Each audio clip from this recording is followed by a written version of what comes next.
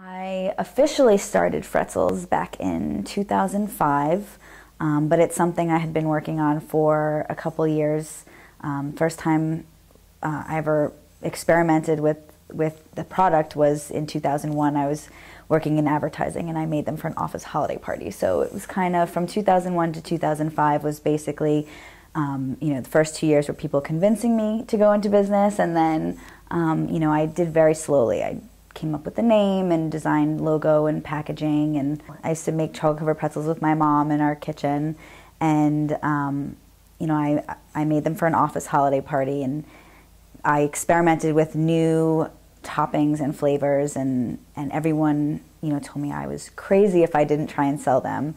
So it basically started as, as just something fun and a hobby. And, you know, I did it on the side. I was still working in advertising, and um, you know, it was just something for fun and and just kind of.